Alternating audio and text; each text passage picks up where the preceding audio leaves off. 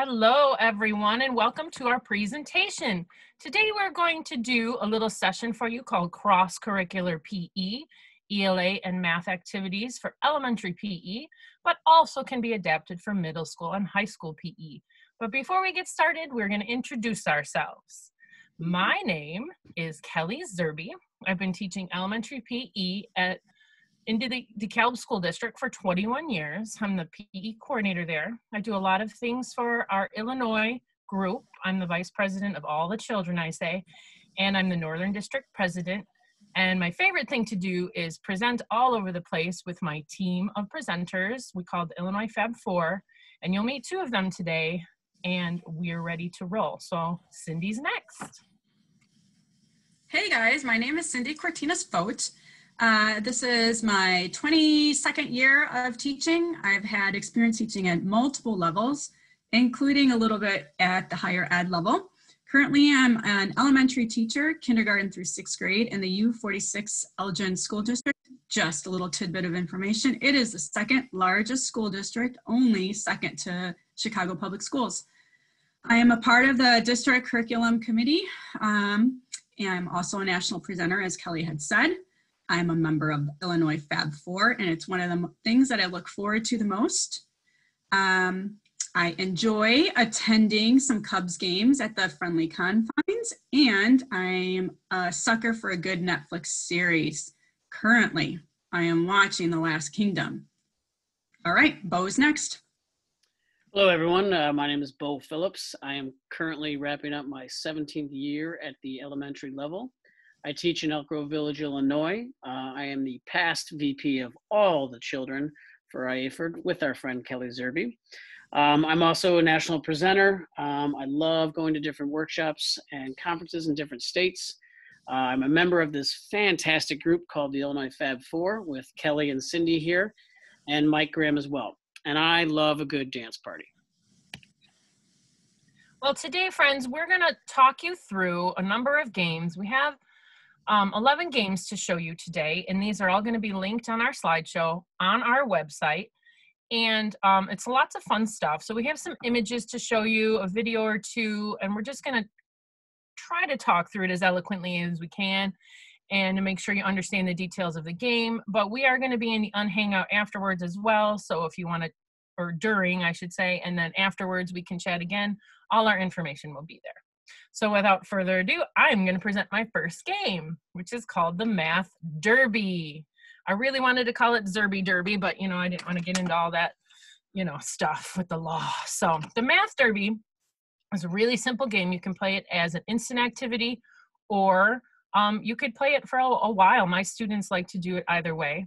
This version is set up for multiplication because you can see the cards on the right that say seven times eight and then gallop and five times five and skip. So that's your pre-work. You have to make the cards that have those terms on them. And you can make those real simply by hand on an index card, or you can, you know, buy those cards at the dollar store and just write an locomotor on the other side.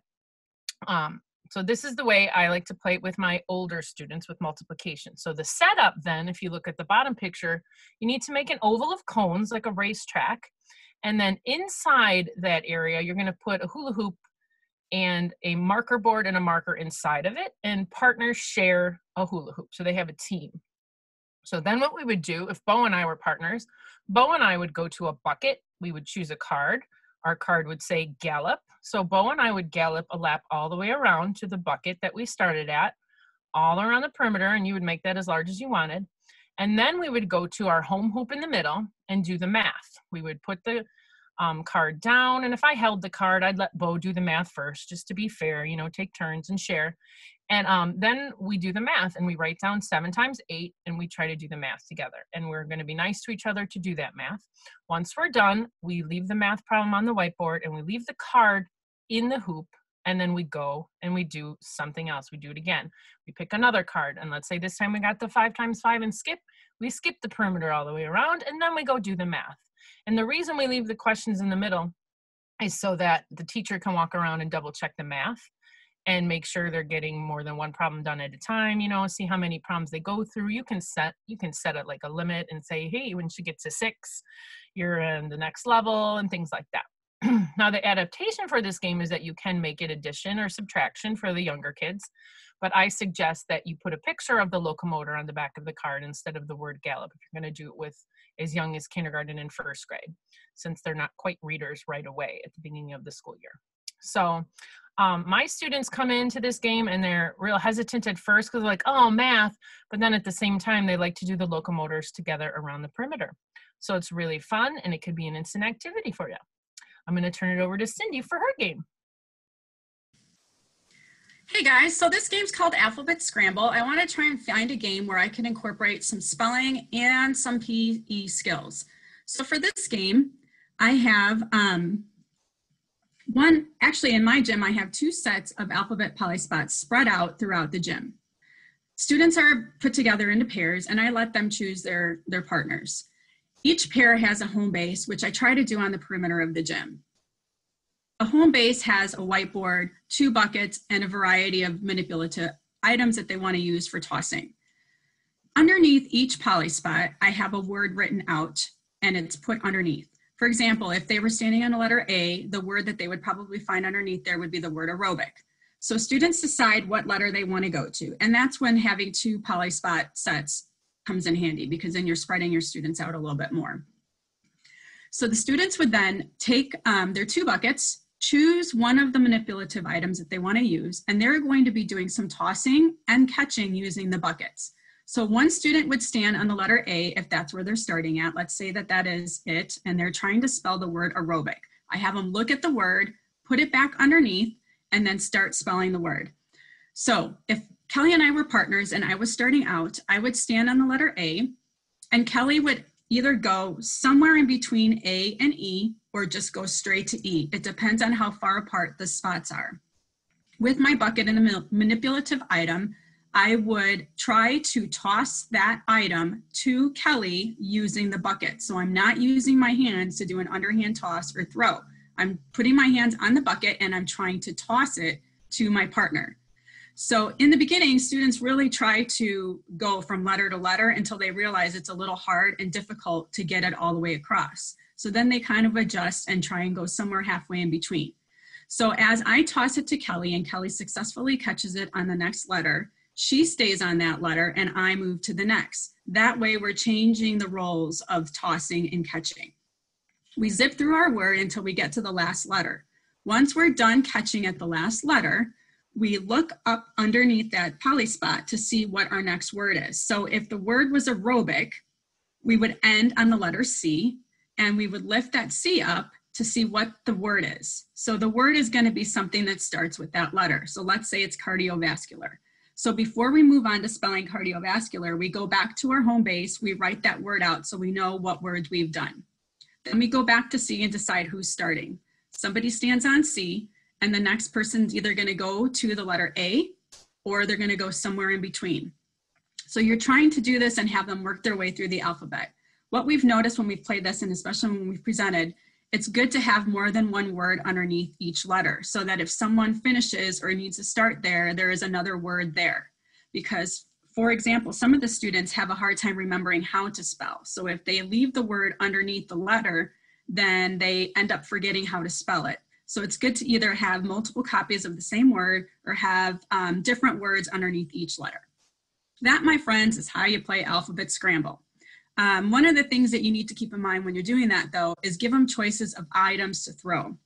You can do it by levels and starting with something that we think is easy and then move on. After a certain number of words, they can then choose another item to use to throw, or we choose for them but you make that choice and give them a couple different things that they can select from.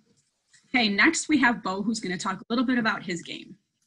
All right, thanks, Cindie. Uh, this game is called I Like to Move It, Move It Math.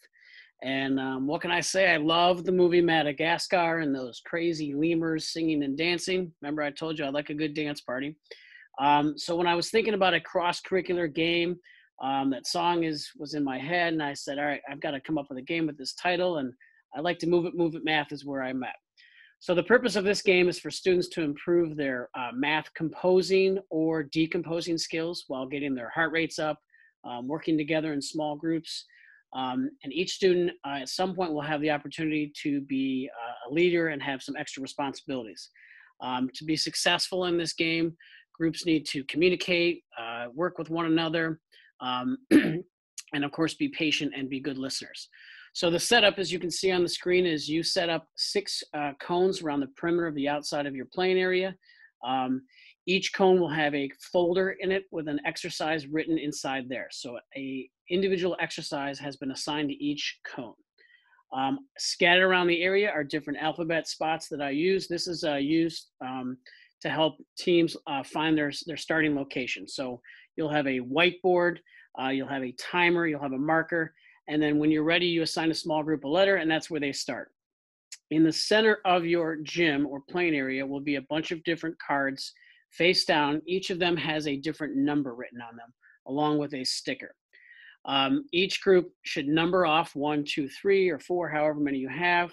And this is so you can um, go in order of taking turns being the leader of your group.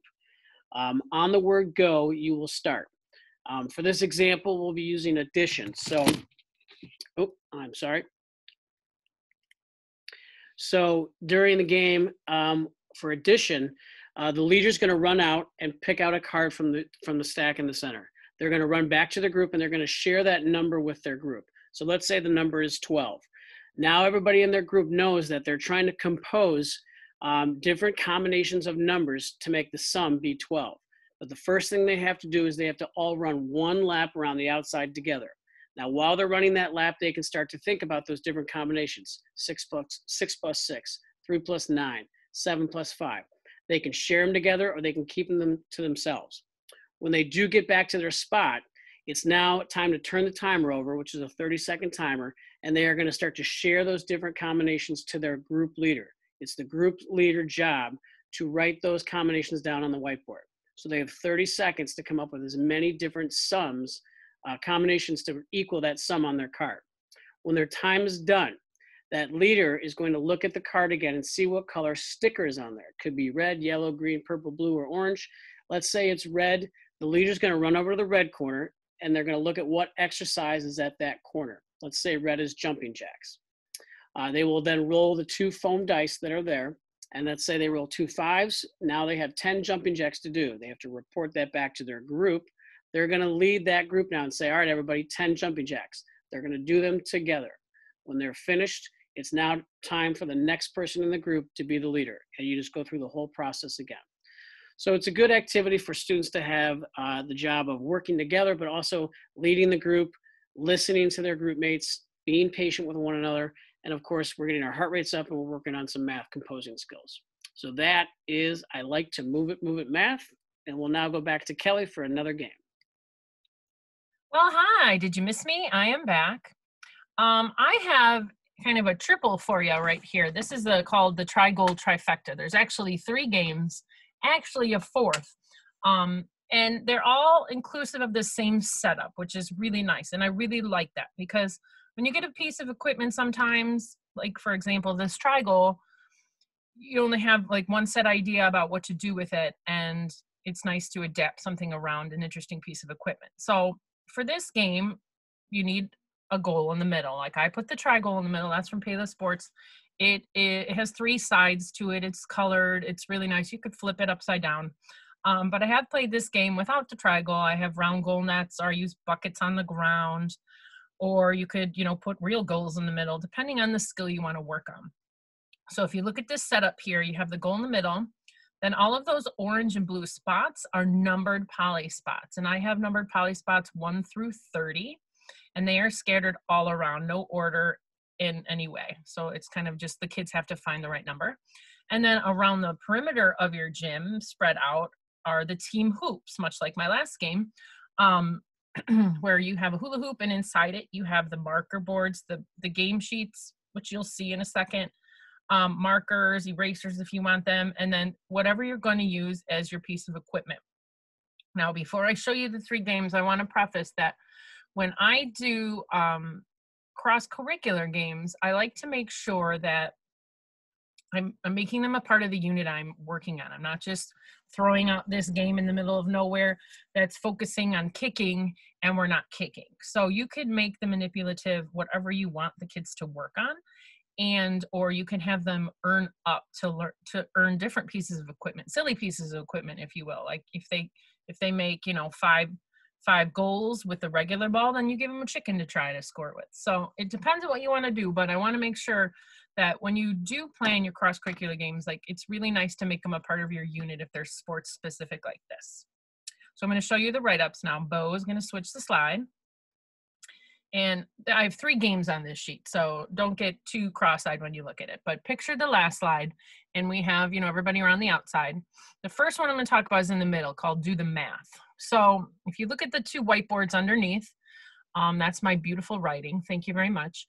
You can set this up however you wanna do. It. You can have the kids work on six problems. You can have them go from 100 down. You could work on whatever you want. But what I have them do is one partner let's let's pretend that we're just going to work on underhand toss. So one partner takes the ball, goes out to the number. In this instance, I have the number 10. They underhand toss into the goal. If they make it, they come back, they write down the 10. And then while they're writing that down, their partner goes to another number and does the math and underhand tosses, in this instance, at the three. And then they do the 10 plus 3 equals 13. I mean, you can do this however you want. There's no set way. Um, you could have them try to earn the 13 too if you wanted to. But then what you could do is after they do six problems, since I drew the six boxes there, you could have them go ahead and earn a different piece of equipment to throw with or kick with.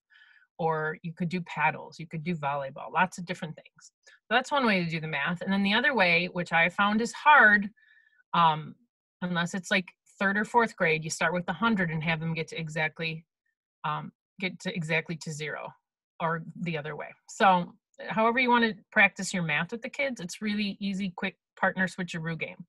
So the other math game is called Goal 10 Bingo. So that's the right game to the right. And what they're doing is kind of the same thing. They're going to that 10, and then the other person's going to the 15, and then they're adding them together. And their job is to fill 10 boxes on the bingo sheet. Because this could be, again, an instant activity or your entire activity, depending on how much time you have for PE and we only made it 10 bingo because five would be quick. So you could you could have them do all 25 too if you wanted. And that's with addition obviously if you did sub, if you were going to do uh, multiplication i want to preface and say not to put any larger numbers around the perimeter of that goal higher than 12 because 12 times 12 is pretty much the highest number they memorize so if you have your 30 out there and you have 30 times 15 they could probably do it in the maybe the fifth grade, but you want to watch out for that. And the last one has the kids um, going to switch to the alphabet, which is kind of fun. And it's called Break the Code.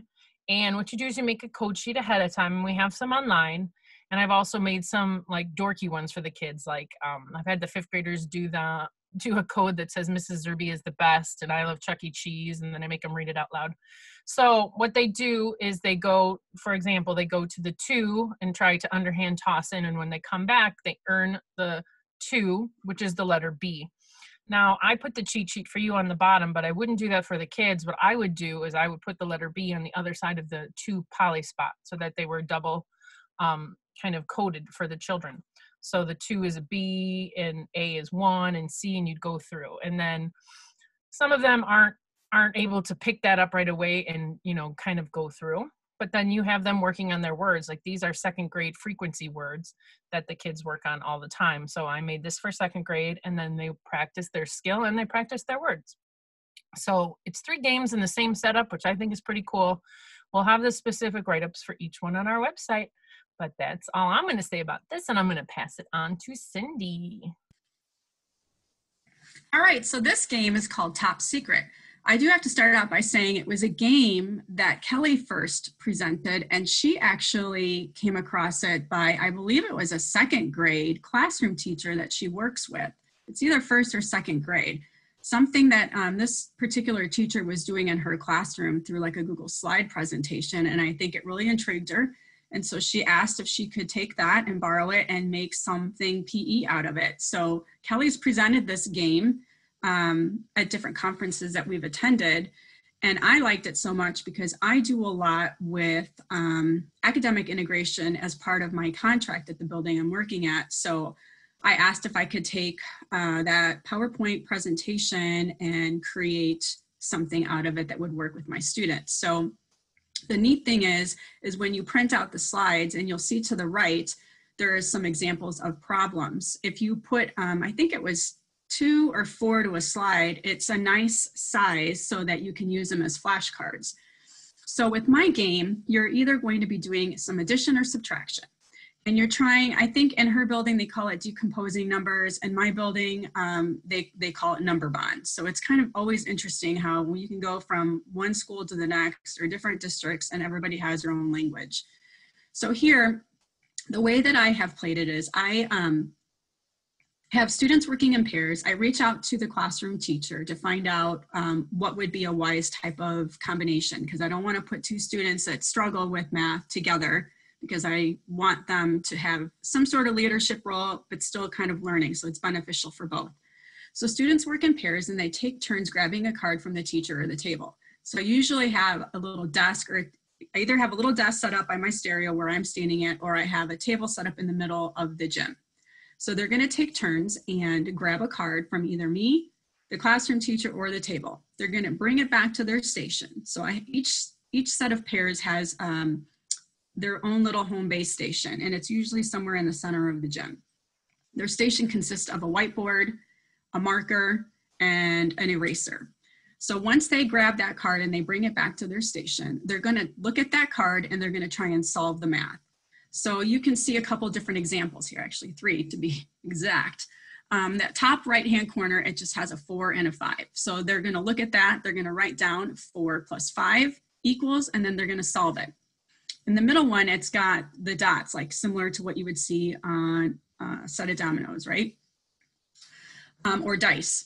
And so they're gonna try and look at the dots, count the dots, and they know that they're gonna add the two. So five plus three, and then they're gonna put equals, and then they're going to write their answer down. The bottom is a little bit more of the decomposing or number bonds. So you're going to look at the top number, which is a four, and you're going to look at the two boxes underneath. One has a number in it and one is empty. So here they're doing a lot of scaffolding and they are decomposing. So we know that four is actually the sum. That's going to be our answer. So it's a little bit more of critical thinking skills, and that's why I like this version of it. So they're going to look that they're being provided number two and they have to figure out um, what other number would go in that box if you add two to it. So we know, obviously, I would hope, that two plus two equals four, right? So they would write two down and they would write it out. So what they do once they have their sum, I have stations set up and I usually try and do it in sets of six, okay? So at each station I have a cone. I have like a cone folder that's flipped over the cone and I have a whiteboard that's on top of a, uh, like a cone topper. On that whiteboard, I'll have a range of numbers written out. On the cone folder, I have like a, an activity or an exercise that's written out. So I try to have it nice and big so the students know where to go. Once they've figured out their problem, they've written it out, they know what the sum is, they go find that number on one of the cones. So if the sum was um, nine, they're going to go find the station where the number nine is in the range of numbers. They have to go together. One can't go ahead of the other. They leave their card down on their whiteboard and they go to that cone and figure out what it is that's being asked of them to do. So if it says um, shoulder taps for nine, like it does in the top example, um, then they would go and do nine shoulder taps because that is the sum of their problem. Okay, then they both come back to their whiteboard and the next person goes and gets a card. So I have it where they're collecting every three to five cards and then they trade those in and then they grab a new card. I like this because they leave their cards there and as teachers we can kind of circulate the gym, make sure that they are writing down the problem first of all and that they're solving it correctly. So we know that if they're looking at the problem and the only problem they have written down is four plus five, and they're at the station where the number two is there, we know that they haven't solved the problem correctly. So we can go back and kind of double check their math with them and walk them through it. Um, it's also nice practice for them to be able to write those problems out. This game has been really successful in my building. I've had first grade teachers come in and do it. We've had second grade teachers come in and do it. And I've also had third grade teachers come in and do it with multiplication. So that's what I like about games. When you're able to take a game and really adapt it and make it work for a number of students, I feel like that is a win-win. So for first grade in our building, they're expected to know their addition and subtraction up to the number 10. In our building for second grade, they're expected to know their addition and subtraction up to number 20. And in um, third grade, they're starting to work on multiplication and they go through um, sets of nine. So what I did is I took Kelly's PowerPoint presentation and I made my own or added problems that would accommodate what the ex classroom expectation is. So I have a set for first grade that only includes problems that go up to 10. I have a set for second grade that has problems that only go up to 20. And then I have another separate set that works on multiplication. So when they're doing multiplication, they can do multiplication or division, especially if you're doing the decomposing number where the, the number on the top is one and then you've got an empty box so they can figure out or divided by two is, or they can go two times what equals four. So it just depends on how you have it figured out.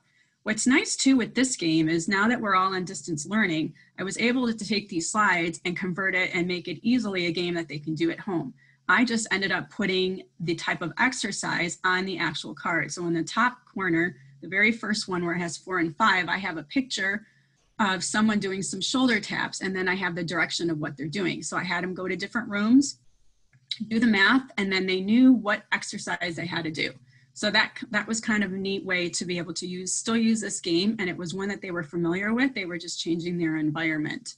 Um, down below, you can see them doing a couple different things. One's at a, one picture shows them at their station.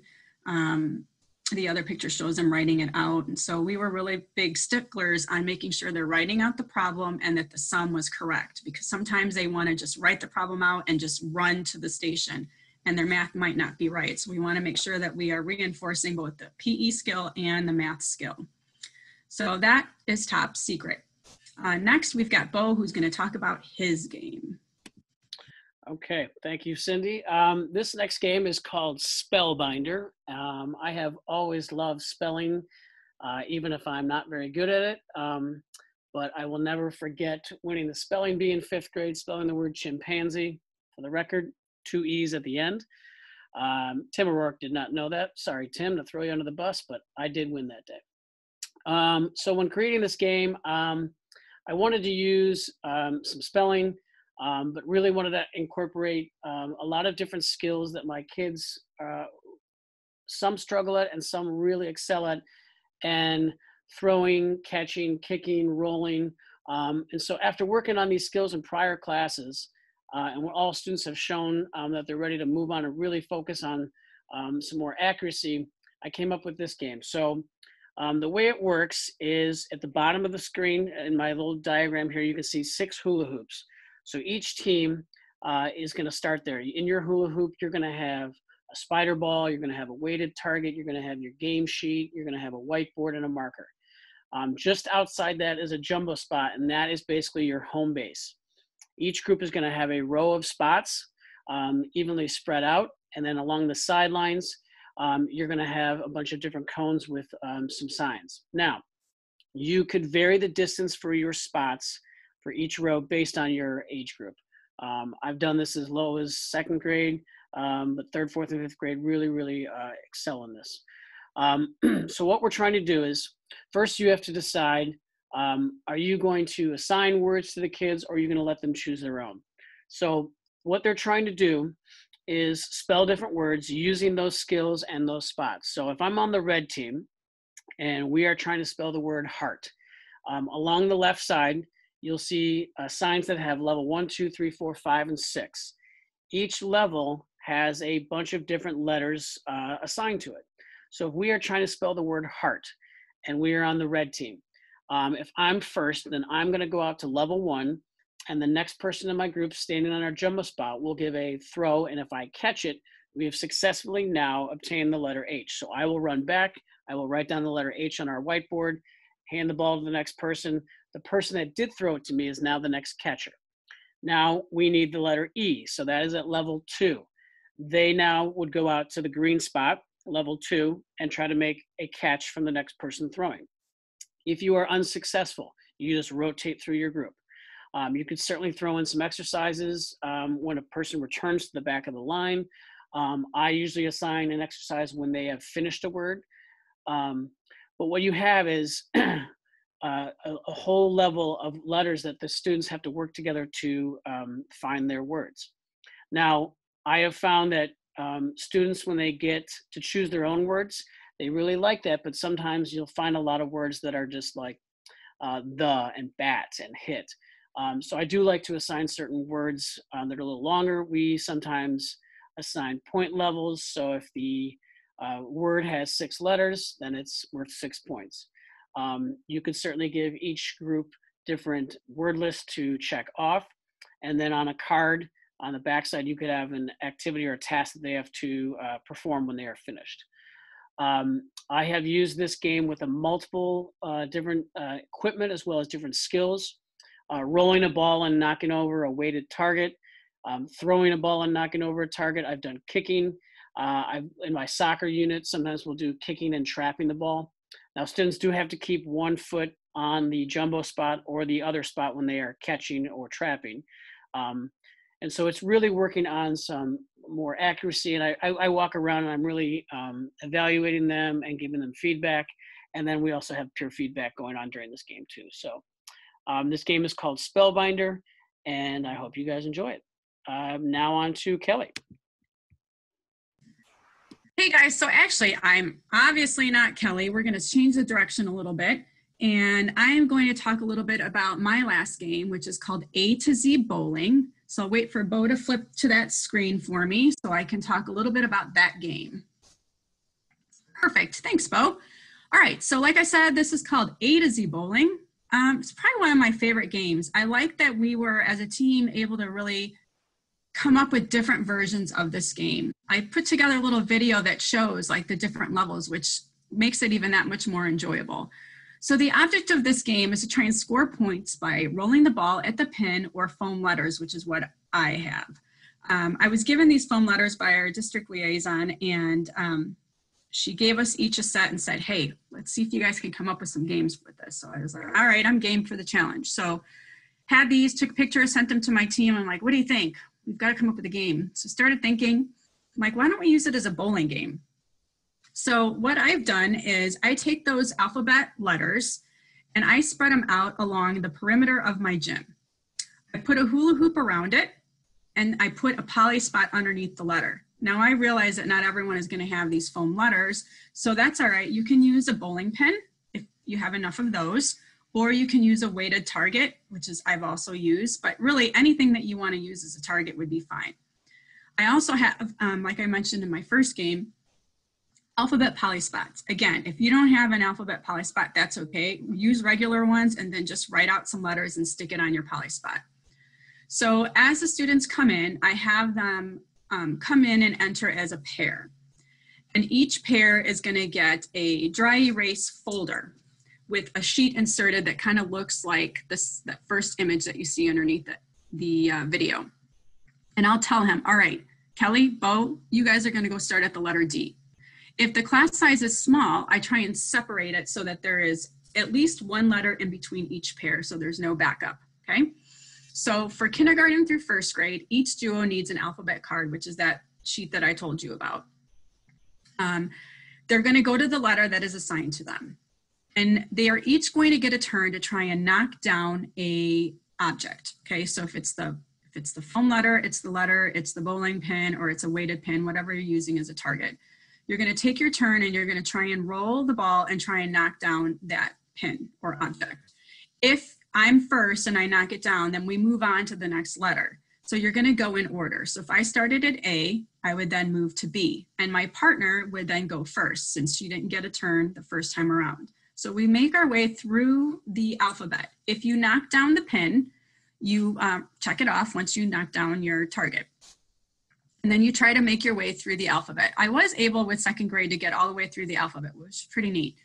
Um, for second and third, fourth, and fifth grade, we wanted to make it a little bit more difficult for them. So we have a different way of playing it for them. So for them, we are using the Scrabble scoring system, and you see the image down there, and we also have that for them so that they can see it. I usually put it up on my um, projector so that they're able to see that. And here they're gonna have some scoring guides here. So they get one point if they if the ball lands inside of the hula hoop. They'll get two points if you knock your letter down. Three points if you knock your letter down and the ball stays in the hoop. So we like doing this because you're giving them multiple um, opportunities to score some sort of point. Because otherwise, if they if you just use a target as a way of scoring a point and they don't knock that target down, then they don't get any points and they get discouraged if they make it through several letters without getting any points. This way, there's multiple opportunities for them to try and score some points. So for second through fifth grade, we give them words. So they'll come to uh, you know a desk or the teacher or wherever you want to place your words. Um, sometimes we use the round net goals and we flip them upside down and we, we lay some pre-selected words up there that are laminated. They grab the word and they try to spell that word out. So if the word was fantastic, they're gonna go to the letter F. They have to, they have to spell it in order. So they can't just pick all the different letters and try and spell it. They're gonna go from beginning to end. So if the word is fantastic, they would start at the letter F and work their way through the word for the older grades, like let's, I go up to sixth grade actually. So for fifth and sixth grade, we thought it would be neat for them to be able to create their own words. Um, you might even give them a, a list that they have to like create from. So maybe you're working on a unit and you want them to create words that have to do with your unit. Maybe it's words that they're working on in their classroom. I'm like, really, there's not, there's not any um, certain way to do it. You can choose how you want to do that. And they'll use the Scrabble letters for their point system for fifth and sixth grade when they're creating their own words. So let's say they they want to write the word basketball so they're going to do the same pe skill but they're going to use the scrabble letters as their point so they know that they've got b. If they score it they're going to get three points and they're going to mark that off as they create their word. This way, they're trying to stay motivated and coming up with some long words that give them some great points or words that have letters like the letter J or the letter X or the letter Z that scores them multiple points uh, for that letter. So here's um, a game where you can take it and modify it in three different ways depending on your grade level and, and really the, the age and the ability of the student. Okay, so this is A to Z bowling and um, Hope you enjoyed it. Kelly's going to end here with her last game, and then we'll talk to you a little bit about the website.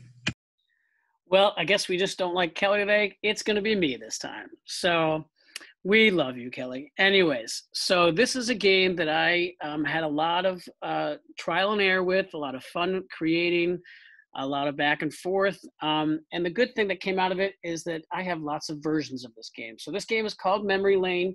I'm going to explain to you the version called roll down memory lane because I do have multiple versions. Um, recall and memory um, is a very important skill at any age. Um, and so when I was thinking about childhood games that I liked a lot, memory was one of them. So I'm combining the game of memory with uh, different skills of rolling, throwing, kicking, catching again. So for this game of roll down memory lane, um, what you're going to do is, as you look at my picture on the left, I have um, hula hoops all around the outside, and that is for each group of two or three students. Um, in the middle of the gym will be all of our hidden spots. Um, and underneath each hidden spot will be a playing card. Now I only use two of the suits. So I use one of the black suits and one of the red suits. You can choose whichever, it doesn't matter. Um, but each spot will have a uh, playing card underneath it, face down. Now, your partner and you will be at your hoops you will have either a target uh, or a ball, depending on what uh, version of memory lane we are doing. So today, since we're doing roll down memory lane, you will have a spider grip ball. Now, the purpose of this game is for you and your partner to form, find as many different pairs as you can. Now, in order to find a pair, what you and your partner have to do um, is you're going to place your weighted target on one of the spots out there. So if my partner is at the hoop, I'm going to run out and put a weighted target on one of the spots. So let's say I put it on a yellow spot with a blue center. I'm going to go back to my hoop and I'm going to roll the ball and try to knock it over. If I'm successful in knocking over my target on my spot that I designated, I get to peek underneath there and see what card is underneath there. I take that information and I share it with my partner. So let's say it was the six of hearts. My partner's then going to go put the target somewhere else, and we're going to keep doing that every time we knock over the target, we get to look under there and gain some new information about the location of a card. If we think we know where a black six is and a red six is, we are going to let Mr. Phillips or whoever your teacher is know. I have a master key a map of all the card locations. If they find a pair, then they are going to go back to their sheet. And as you see on my sheet here, we have the list of all the cards, ace through two. They're going to cross off that they found the sixes. And then they move on. If they find a joker or they are incorrect at guessing the location of a pair, then in the corner of each of the, the four corners of the gym, I have some jumbo playing cards. They have to pick a jumbo card. Now, let's say they pick a 10 of hearts. On the far right, I have there the four exercises associated with that card and that suit. They would have to do 10 squats, and then they can continue. So they are constantly moving around, either, well, for this one, they are rolling the ball and trying to knock over the target. Every time they gain new information, they want to store that information in their head. They can write it down. They have to gather it together. Now, if they're uh, incorrect, like I said, we're going to put them to a corner and do an exercise.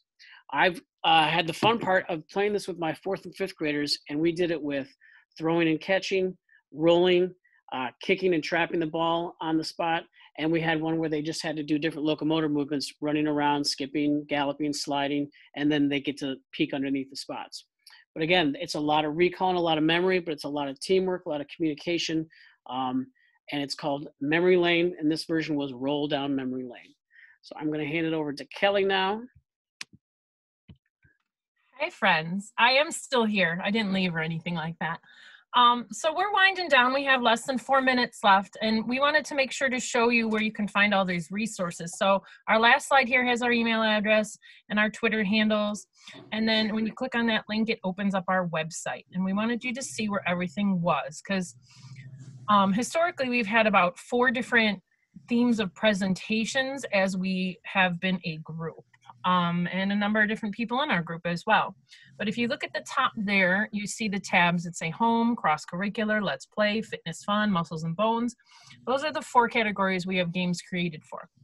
So Bo is going to click on cross curricular activities, and then that's going to take you into our big folder where everything you can imagine is in here. So first you're going to see some specific slideshows to places we've presented, and I put those in temporarily, but all the games are linked under and right there. So when you click on any of those, the PDF should open and then you have all the games. We have a plethora of activities in each of these categories and um, a lot of the resources that go along with it. And if there is something that is confusing to you, or you open it up and you're like, I don't understand, um, then we can explain it to you. We're happy to help on that website and everything like that. So um, we have lots of games in cross curricular, lots of games in Let's Play, and we have a lot in Muscles and Bones as well. So um, if ever you have questions, you can let us know. Um, I didn't um, produced my last game for you guys, which is called Cardio Spelling.